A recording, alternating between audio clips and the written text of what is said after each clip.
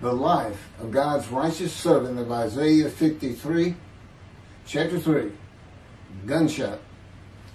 Shortly after I recovered from my knee injury, I moved to Fort Lauderdale, Florida.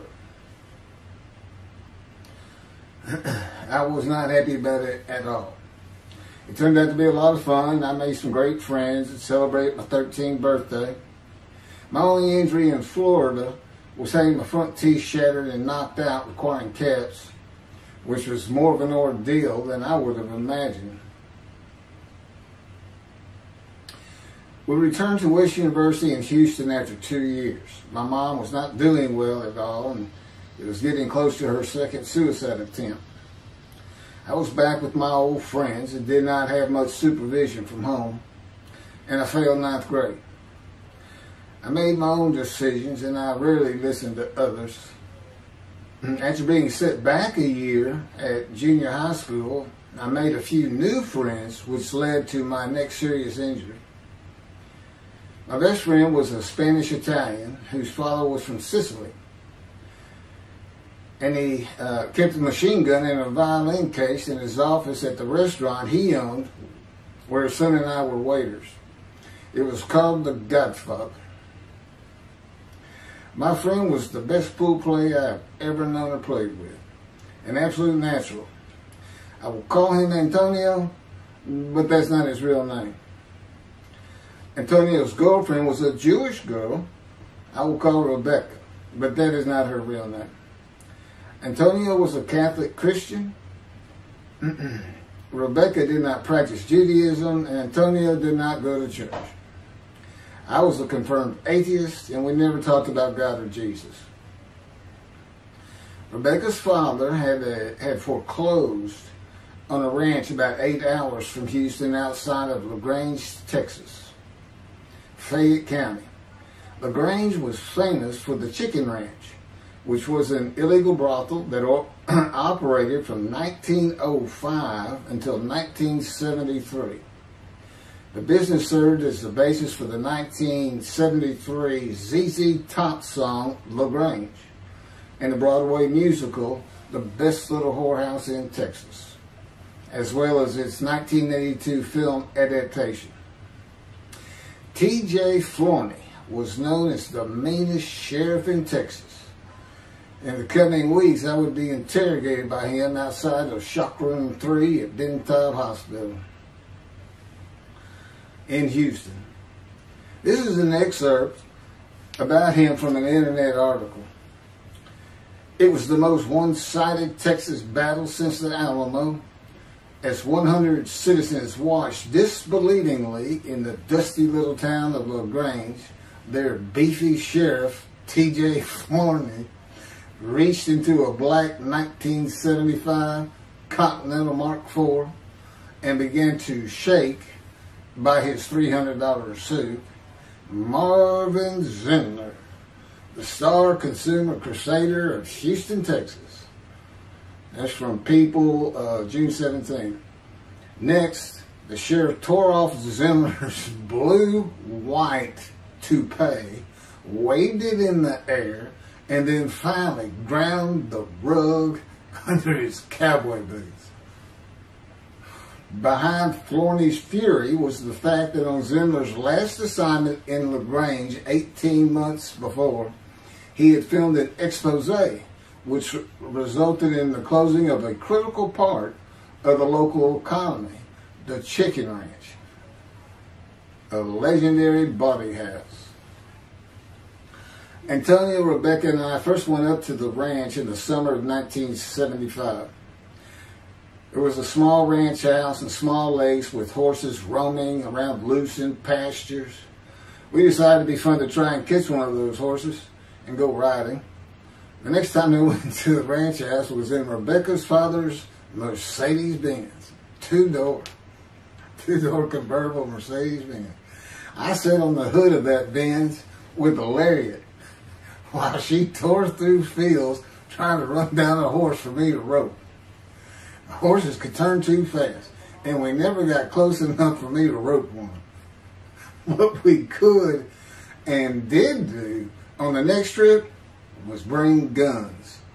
a 30-30 rifle, shotgun, and two 22 caliber pistols with holsters.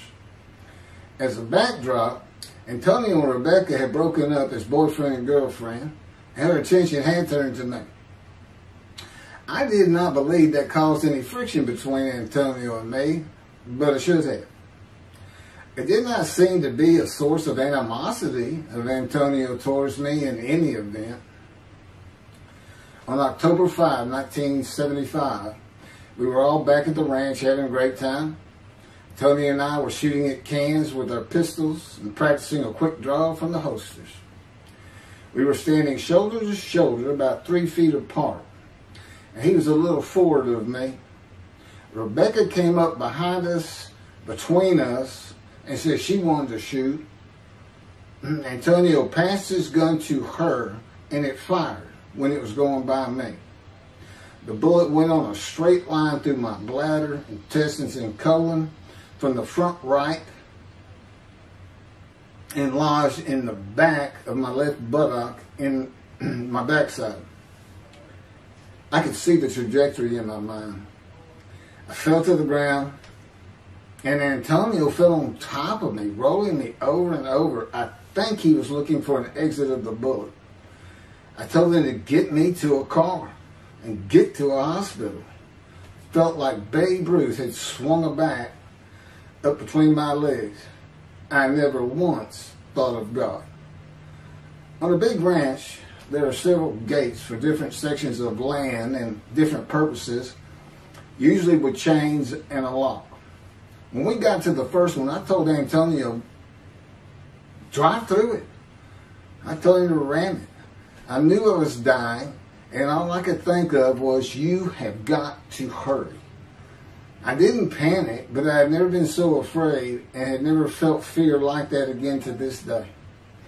Sometimes I think I have forgiven Antonio for accidentally shooting me, but I have not and cannot forgive him for stopping at those gates. I'm still mad about it. I was seriously angry at him. We got to the LaGrange Hospital before noon on a Sunday. They had to call the doctor to come in. I asked the nurse for something for pain, and she told me my vital signs were too low. That if she gave me a shot of morphine, I'd drop dead right there. It would kill me. No pain medication. the doctor came and looked at me and said there's nothing they could do there.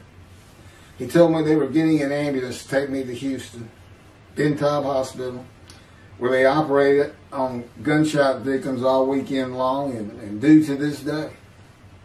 It's a, it's a trauma hospital. Many young doctors from Baylor University, all around the state, um, it, it's it's a high desirable place to be because you're cutting all. If you want to be a surgeon, you're cutting all day long.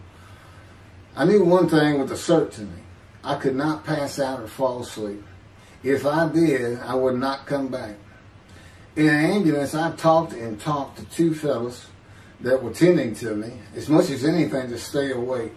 I asked them such things as what it was like to be married, graduate high school, have a career job, but my mind repeated over and over, you have got to hurry. We arrived at dusk. This happened before noon when I got shot, so now it's getting dark. When the ambulance opened, my brother jumped in. to help. My mom was standing by the entrance to the shock rooms in her fur coat.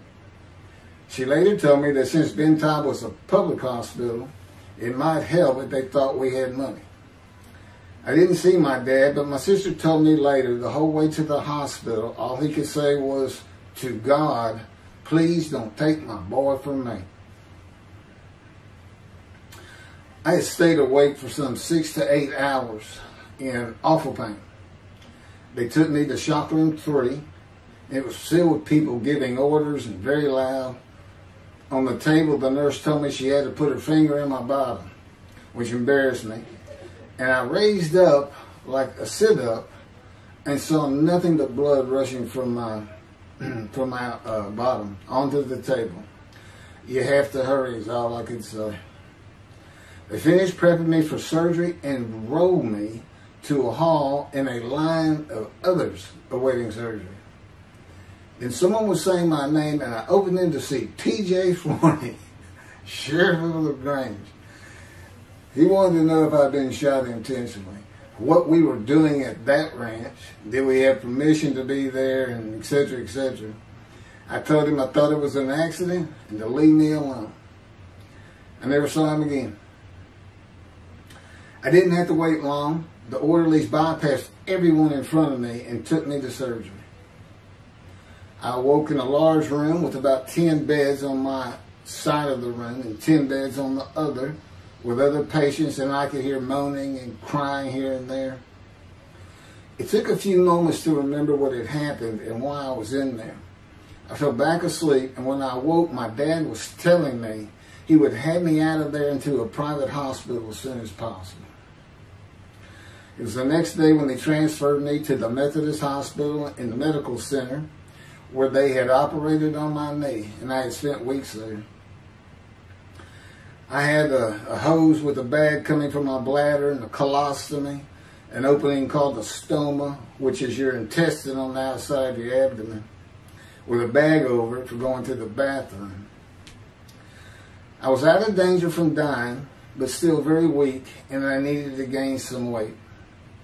The track team was already getting together, running distance and cross country workouts provided by the coach, preparing for track meets in the following school semester. I lived about a half mile from the high school. The day I got home, I walked to look at the track. It did not seem possible I could get back in shape. I was afraid to cross the roads to the school. I could not even trot to get out of the way if a car came my way. My insides felt like jelly. And I had been warned that too much physical exertion in the first 10 days could cause a stomal hernia and my intestines to start extending from my body. I was homeschooled for the rest of the semester by a private volunteer tutor and passed classes I probably would have failed. The beauty of that gunshot was that it changed me.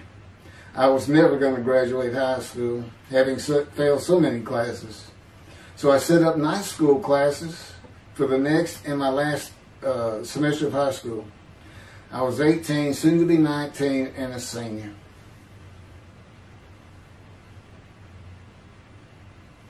Chapter 4 College and Law School.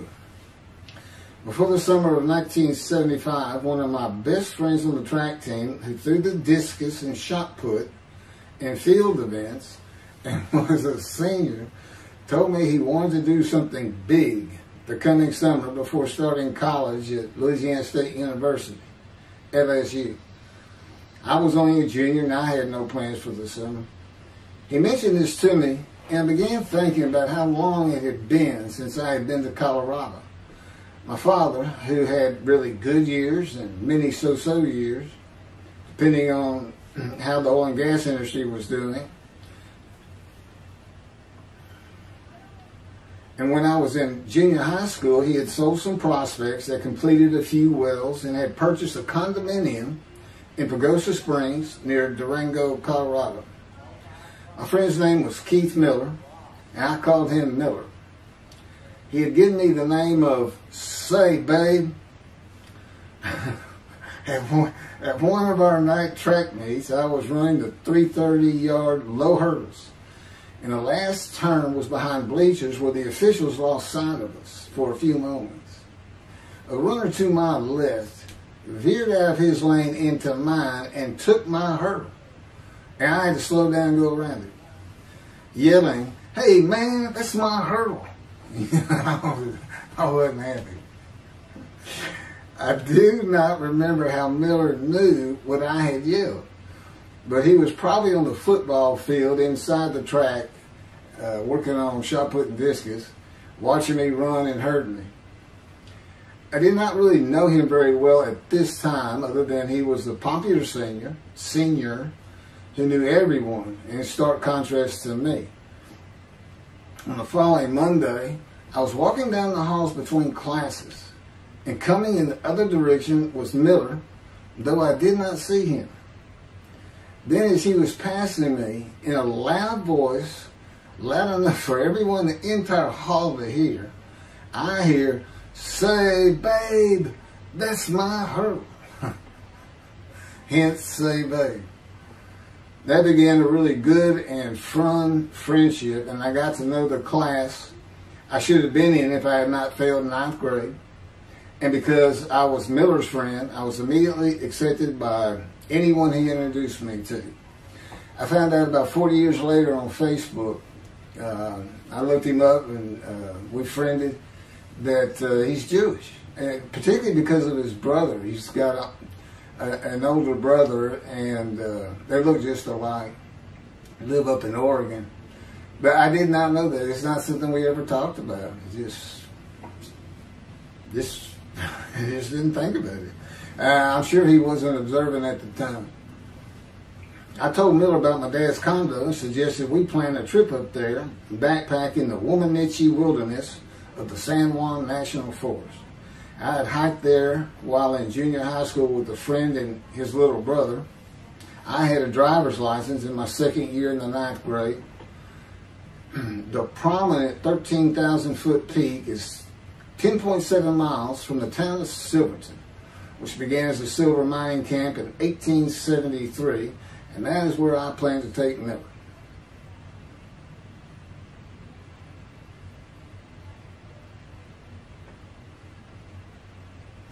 So Miller and I take off. We use his car. Uh, as I said, he was getting ready to graduate, and his dad had bought him uh, a Toyota. Can't remember the name right now. My dad's condo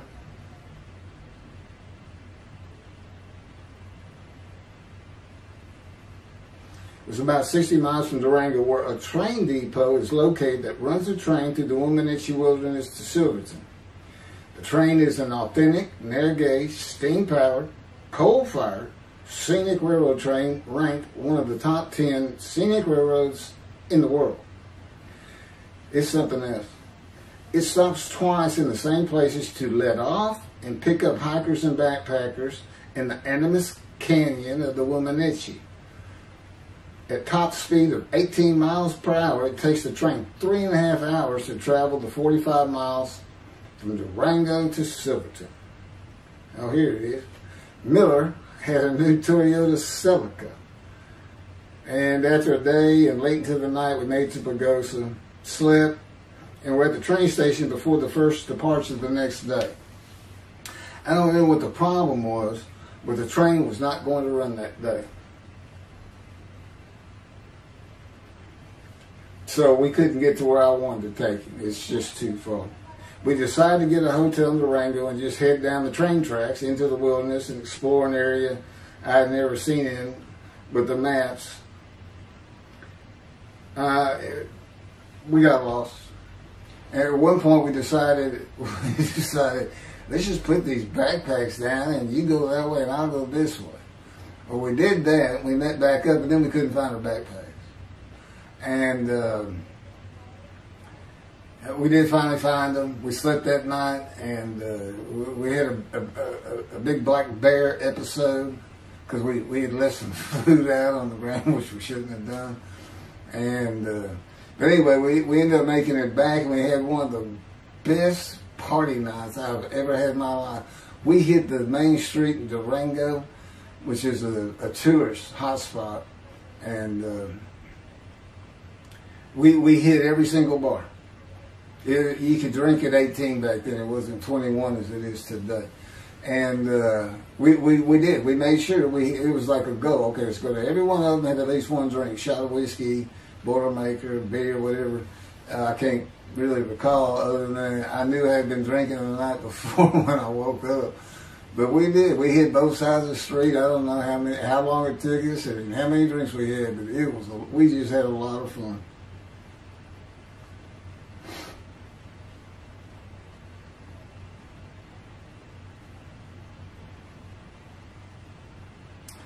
Okay, I'll be coming to chapter, I guess it's four. I don't know. I thought I was coming up to the cancer story, but this is different. This is uh, getting into alterations while at school.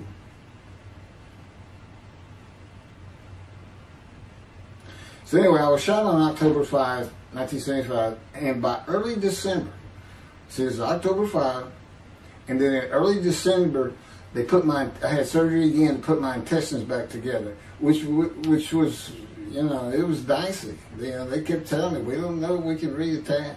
You know, there's people like Bob Hope lived, lived his whole life with one of these stomal deals. And it's just a horrible thing. but they, they, it was successful. They got, they, they put it back together and they removed my bladder tube the girl next door, who I had never talked to other than to say hey or hello, and who also went to high school with me, had been coming over daily, and she agreed to be my girlfriend when I asked her a few months later. I did my night school and graduated last in my class, or close to it, of over 400 people. in late December, I began running with the track team. Now I had surgery early December. I'm, i already got out there with them, which was difficult. Uh, pulling two tires on the cinder track. You there's a rope, two tires, and you put a harness around your waist. I had to put mine up on high up on my shoulder. On the cinder track for a lap and a half, 660 yards with two minute intervals, six times was the toughest. My speed and quickness were still there, but distance running and my endurance, it took quite a while to come back. In early February, just about three months after being shot, I won my first 120 yard high hurdles race at a track meet that was fast enough to qualify at the upcoming district track meet for the regional track meet. Winning at the regionals would place me in the state track meet. I was fast, but my disfigured right arm really held me back. Then my heart was broken, and I cried for the first time since I was a child, best I could remember.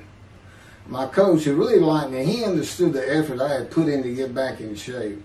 Called me to his office, and I knew something was wrong. He told me I could no longer be on the track team. I had too many semesters of school to be eligible according to the eligibility rules.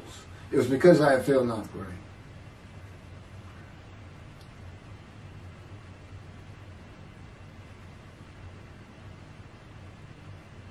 And of course, I had no one to blame but myself. Skipping school all the time, just not trying or caring about learning was why I failed. I was not lacking in intelligence and common sense as many people thought of me. I could and often did read a complete science fiction paperwork, paperback book during the school day. One day. I get them from my brother. I just sat in the back of each class and read my book, and the teachers always left me alone. I also was suspended from school a couple of times for fighting. First fight was in the gym in the bleachers with the principal on the floor telling us the do's and don'ts for the second semester of the 10th grade. This is two years before I was shot. I found out he already knew me by name, and I had never talked to him. The second fight was with the same guy, but this time we took it across the street from the school. He had about 10 of his friends, and I, being a, pretty much a loner, I had none. They were African American, bused into school from neighborhoods far away. And I just didn't understand them or know why they even talked to me with words I did not get like word or say, man, can I hold a dollar?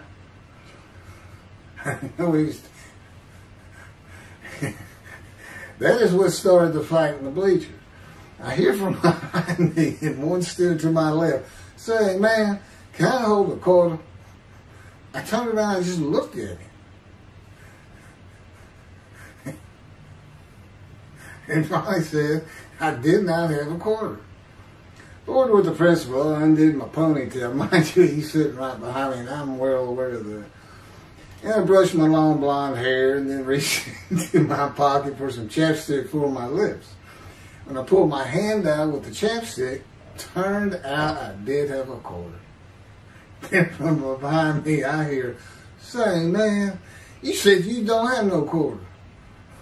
To which I replied, turning around, I don't have a quarter for you. The next part is kind of hazy. But I do know I grabbed him by the front of his shirt and threw him down the bleachers onto the students sitting below me. That is when the principal yelled my name and told me to go to his office.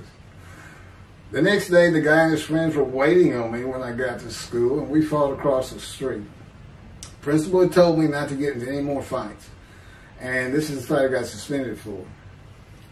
I remember being in, uh, after my suspension, being in the men's room smoking a cigarette in a stall, and a group of African Americans came in, and they were talking about the fight. What I remember was was hearing that white boy went Muhammad Ali on him. My favorite fighter. I even saw the Ali Foreman fight in Kinshasa, Zaire, live in Amsterdam in 1974. And some of my best friends in high school were African Americans, mostly on the track team where we could get to know one another.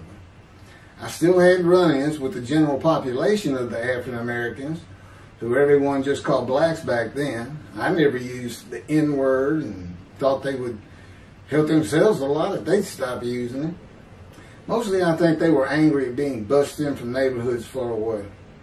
In fairness to them, white kids did not seem to like me much either. So, yeah, I looked young, even for my young age, and with my long hair, about six to eight inches past my collar, I looked kind of girlish, and many people said that to me. One day, a friend of mine told me what it was to him. You never smile and seem to be very angry. Like if someone looks at you crossways, you're going to come after them, daring them to say something. Like you want to fight. My next suspension for fighting began in middle shot, and it was all my fault. It, there's not a big deal to that.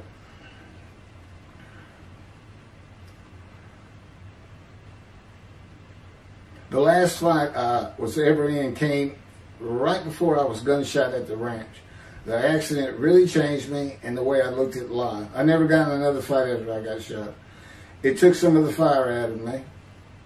My longtime friend from junior high school and I were at Memorial Park at night and walked down a train track that ran through the woods, away from the streets and recreation areas. We went to the center of a long railroad trestle bridge that ran over a bayou to wait for a train to round the corner from either direction on a single track. When a train would round the corner, we had to run and jump off the trestle after clearing the bayou. We were drinking beer. As we were sitting, we started talking about the price of gas that was 44 cents a gallon in 1975. Uh, anyway, the trains weren't running. We got up to leave, and as we're walking down the steps he said something about my father uh, and about how to find oil and gas. And I turned around and just hit him with everything I had, with my right arm. And I realized what a stupid thing to do. I called him the Big Swede. He's huge Norwegian. His hair was white and long and longer than mine. His hand was the size. Mm. And uh, I, I, had nowhere to run. That was the really dumb part about. I mean, I couldn't move. I couldn't use my quickness. I couldn't box uh, as I had with the fellow across the street. and um, he just he just took one big swing. He's very athletic. Uh, coaches all want him on the high school team, but he didn't want to. Uh, football team. And uh, but anyway, he hit me just one time. That was the whole fight. It was just two hits. My my measly hit with my right arm I it fast, and I hit him when I wanted to hit him. Uh, but, uh, well, I say that. I didn't even think about it. But uh, he just about knocked me senseless. I mean, I saw red. and uh, so anyway, that was it for our friendship. We just, although after I got shot, he he and I got back together a little bit. But by that time, I had met Denise next door and uh, I wasn't going to be going out drinking beer at the trestle anymore. I was going to get serious, and that's when I set up my night classes and everything. the big Swede.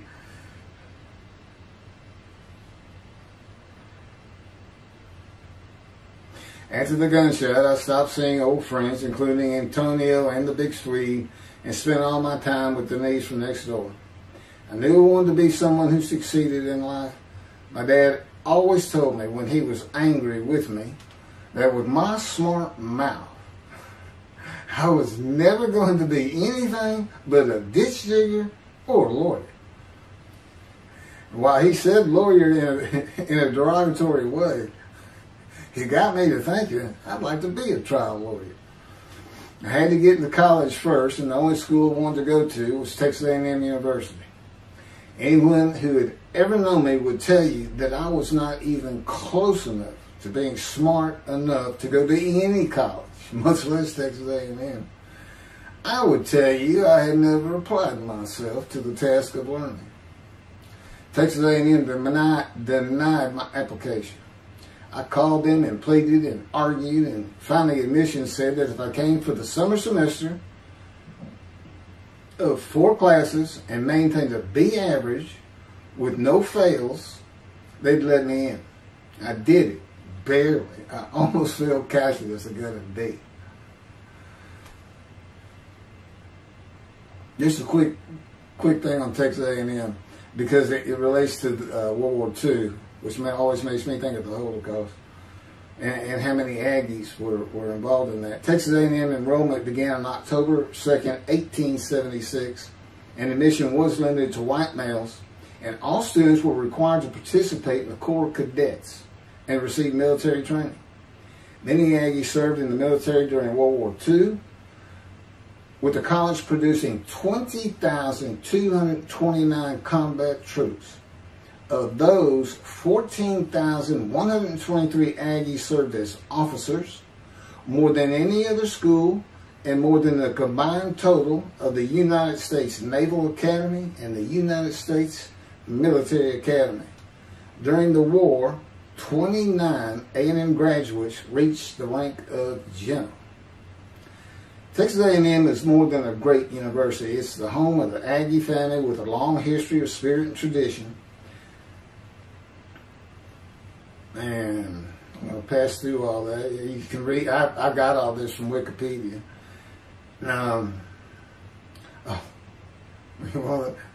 like Notre Dame, it's a school full of tradition, especially notable at football games and in campus life, drinking beer at the Dixie Chicken. I had a good friend in what is now the Volunteer Corps of Cadets, and we've been shooting pool and drinking beer all night uh, on the weekend and finally left sometime after midnight. I walked my friend back to the quad, Corps Cadet Quad, a large open area where people could gather, surrounded on four sides by dorms for cadets only. And I dropped him off at his room. Before he shut the door, he looked at me and not for the first time said, want to race? He's fast. We, we, we raced many times. I said, yeah. Of course, we were pretty much, we had a lot of beer. I said, yes. And he went to the end of the hall and took off at the other end of the hall. He was fast, but I was pulling away with just a few yards to go, to go and hit the wall before I could stop and busted my chin open. Blood's pouring out everywhere. People opening doors. Look, look, look. That's what the little guy did. The, the, the tall guy, taller guy. I also sprained my ankle. These are my injuries at Texas A&M. I also sprained an ankle so severely playing basketball with football players that I was in a cast for six weeks. Those were my only injuries in the three years at A&M. It was the gunshot that changed me, everything in my life. I married Denise when I graduated from A&M in 79, just three years after graduating high school. I went through in three straight years. Uh, because I had those hours from the first summer, I just went ahead and went the next summer too. And I got out, and the average for most A&M students is five years. But I went through in three.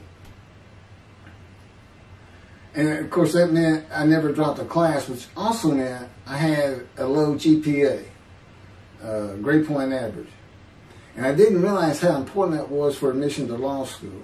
I was denied admission from every school across the nation I thought I could get into. I do not know how my dad knew about South Texas College of Law in downtown Houston, but he, he made some inquiries and found out the dean was a graduate of Texas A&M. And we're known for helping each other. we set up an appointment with the dean. I told him of my uh, rather intense home life and wayward ways, and that the A&M had given me a chance to prove myself as a capable student. You know, he hemmed and hawed, looked around the ceiling, gave me the and gave me the same opportunity A&M had. Four summer classes, B average, no fails. I did it. I was terrible at chemistry and math, but it turns out I have good reading uh, and comprehension. It's probably from reading all those science fiction books in school. I graduated in 82, and I did great on the bar examination. Keith Ellis McCarty, attorney at law. Who would have believed it? Which reminds me of verse 1 of Isaiah 53. Who can believe what we have heard? That's what any of my friends would say about me getting out of law school. Much less what's happening today. You go find somebody that knew me in high school, they say, who? Oh, that can't be true. Get out of here. I know him. Forget about it. Chapter 5. 27 year headache. I'm gonna pick up with that on another video, and then uh, that that that'll be it. Some general comments. Uh, oh no, five and six. I'm not sure what six is. Yeah, 27 year headache. That uh, I'll go ahead and mention God in one of these accidents. I won't say anything about the dog who took a hard left between my legs, just about severed my knee, my leg. I won't mention that or or hitting the big Swede on the track. Unbeknownst to me, my arm just took off. I wouldn't have hit him with my right arm. the things he has shown me, and and and getting gut shot. Yeah, I think I would have figured out. You know, you probably shouldn't be hanging out with this fellow anymore if you're gonna be talking to his ex-girlfriend of him. Little things like that. He controls my perceptions little things like that in my life to make sure I am the man of Isaiah 53. If anybody thinks I'm going to back off saying that, they're wrong. I have been through too much. My whole life is dedicated to this time, the day of the Lord. As a matter of fact, you know, what about my day? what about my day? Well, he said, well, first of all, God's speaking with you and living with you. Most people say that's pretty good. I said, yeah, yeah, yeah. But anyway, here's, here's something he's promised me that, that he lets me uh, check out all the time. And I'm going to put on the screen.